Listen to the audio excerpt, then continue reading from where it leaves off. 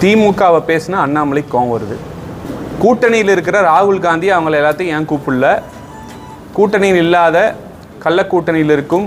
பாஜகவை ஏன் கூப்பிட்டீங்க சொல்கிறேன் அண்ணாமலை ஒரு அரசியல் கோமாளி